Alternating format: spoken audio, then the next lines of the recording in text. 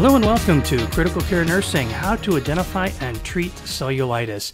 My name is David Woodruff. I am the editor of Critical Care Nursing Made Incredibly Easy. I hope to make this incredibly easy for you too. Let's talk about cellulitis. Cellulitis is an infection of the skin that can be painful and lead to life threatening sepsis. So, where is this? What does it look like? And where does it come from? Well, it's a soft tissue inflammatory reaction that's occurring as a result of infection or inflammation of the subcutaneous and the dermal layers, so those upper layers of the skin. The majority of the ones that are non purulent and uncomplicated are the result of beta hemorrhagic strep or of Staph aureus. They can be classified into three different classifications acute, subacute, or chronic, depending upon how long this cellulitis has been occurring for that patient.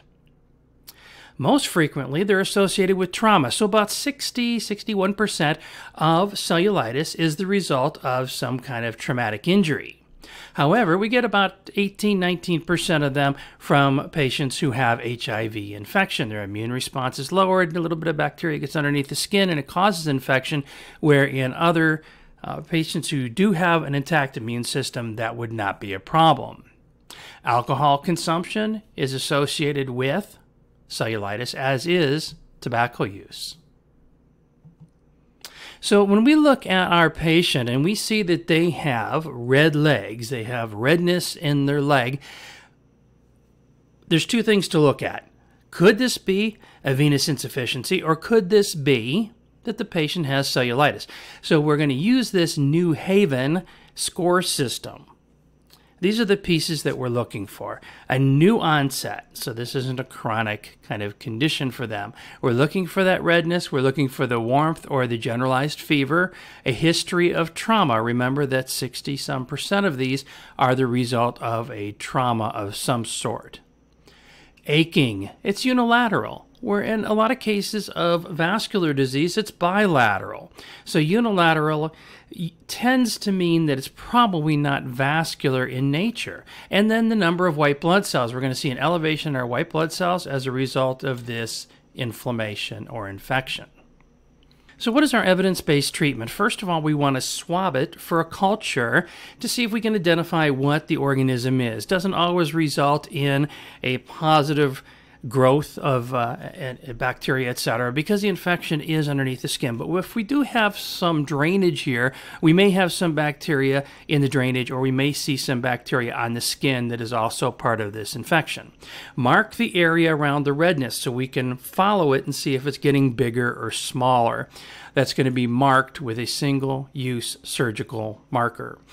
Penicillin, amoxicillin, and cephalexin are going to be our antibiotics of choice.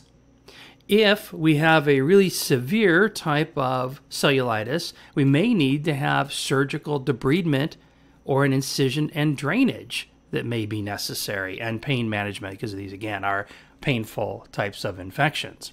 Complications include necrosis. About 30% of the time we may end up with necrosis. 23% of the time, this could lead to sepsis. We have bacteria, it's under the skin, it's very vascular. That bacteria then gets translocated to other parts of the body, and we end up having sepsis. Abscess formation can occur and ulcer development. So, in order to avoid all those complications, we want to treat this as quickly as possible. So here are the references for this presentation, Dr. Bottler and Associates and Dr. Edwards and Associates. A couple great articles here to help you to be able to really hone in on which patients have cellulitis and how best to treat them. Thank you for joining me for Critical Care Nursing, How to Identify and Treat Cellulitis. My name is David Woodruff, and until next time, bye